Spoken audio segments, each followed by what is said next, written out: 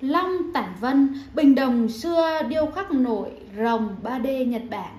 Xin chào quý anh chị, xin mời cả nhà cùng thưởng thức và cùng nhìn ngắm một tác phẩm tuyệt đẹp đến từ đất nước Nhật Bản.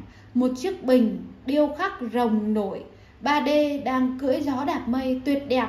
Và giờ đây thì mời cả nhà cùng với gốm Nhật Toki đi vào ngay chi tiết của chiếc bình này. Về chiều cao của chiếc bình, chiếc bình sẽ có chiều cao lên tới là 28 cm về vòng bụng của chiếc bình thì chiếc bình sẽ có vòng bụng. Em cũng sẽ đo và gửi tới cả nhà luôn nha. Chiếc bình sẽ có vòng bụng là 65 cm và giờ đây thì mời cả nhà cùng nhìn ngắm chi tiết của hình ảnh rồng nổi vô cùng sắc sảo và vô cùng tinh tế trên cái phần bụng của chiếc bình tuyệt đẹp này.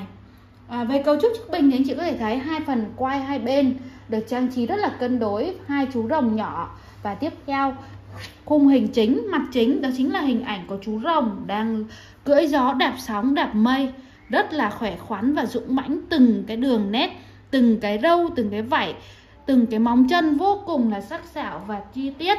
Từng đường nét được làm nổi lên, khiến cho chiếc bình trở nên vô cùng sống động và rất là đã.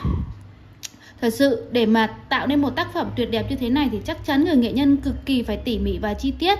Và bên dưới thì chúng ta cũng có đi kèm truyện ký của nghệ nhân ở một góc của bức tranh Đó là bức tranh rồng nổi. Một tác phẩm tuyệt đẹp của người nghệ nhân à, thủ công Nhật Bản. Và giờ đây thì mời quý anh chị cùng gốm Nhật Toki nhìn ngắm lại một lần nữa tác phẩm chiếc bình đồng xưa Long Tản Vân này và mọi thông tin chi tiết anh chị có thể cùng giao lưu và sưu tầm với em. À, thông tin liên hệ em sẽ để dưới phần mô tả. Và một lần nữa thì gốm nhật toki xin được cảm ơn quý anh chị đã theo dõi. Chào tạm biệt và hẹn gặp lại quý anh chị trong các tác phẩm sưu tầm tiếp theo cùng với gốm nhật toki